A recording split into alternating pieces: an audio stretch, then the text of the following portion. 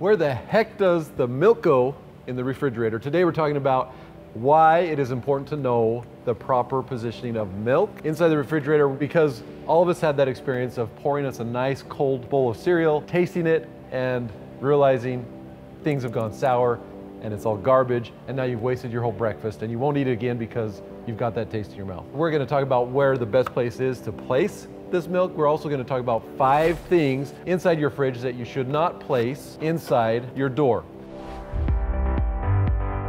Despite the notion that yes, this gallon size milk jug should go right here in the gallon size bin, that is not the place you want to put your milk. Believe it or not, the location your fridge that you place your milk your fruits and vegetables, your meats, poultries, your cheeses, and eggs all affect the longevity and freshness of those foods. First off, you see this beautiful door behind me. It's so convenient, but it is the very worst place in your refrigerator to store any of those five items. And if you leave your door open too long, it starts beeping at you because bacteria is gonna start to grow on your milk and food, so you should keep your fridge shut most of the time.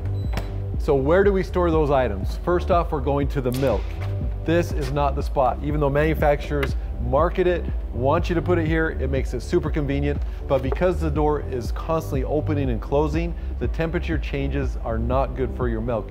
It potentially allows bacteria to grow quicker, your milk will sour quicker. What you need to do with milk is put it in a consistent place close to the back of the fridge to keep it cooler than at the front of the fridge. Yes, it may be a little less convenient, but it's gonna help your milk last longer and stay fresh.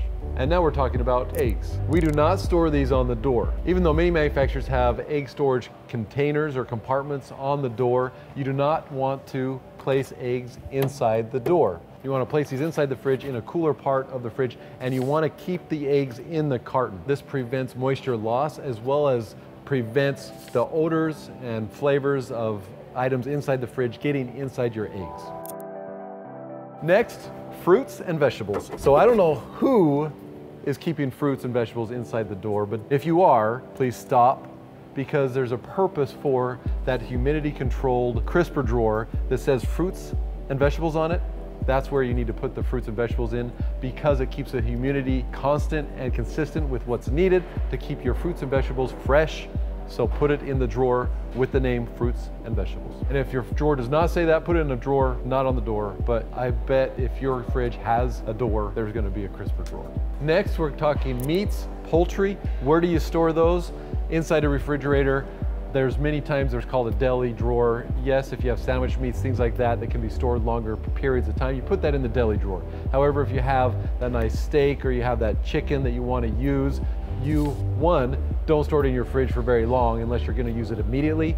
Two, you don't wanna store it high in your refrigerator. You wanna put it on the lower shelves because they can have a tendency to leak and if they leak up high, not only can it make a mess, but it also can contaminate other food inside the refrigerator, which you do not want. If you have meats and poultry inside your refrigerator, don't put it on the door. That's just gonna cause a mess. It's not gonna stay very well, but put it inside the refrigerator and make sure you're planning on using that in a relatively short amount of time. Last but not least, we're talking about cheese. We all love cheese and there's a specific spot in the refrigerator for cheese and that is not on the door. Again, there is a specific drawer for that. It's the deli and cheese drawer.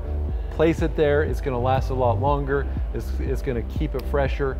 And if you don't have a deli cheese drawer, because not every refrigerator has it, use the crisper drawer, but make sure the humidity is not too high because you don't want soggy cheese, but that's the next place to put it. I do want to point out that these are great tips for you, especially if you're experiencing milk not lasting as long or other fruits and vegetables, things like that not lasting as long as you would expect them to. But use these tips in a way that is best for you as always. Thank you for watching. Hopefully you've enjoyed the five things you should not ever store in a refrigerator door. Please subscribe to our channel for other great tips and exciting items. Do you have favorite storage tips in your refrigerator? If so, put them in the comments below. Thank you. Bye.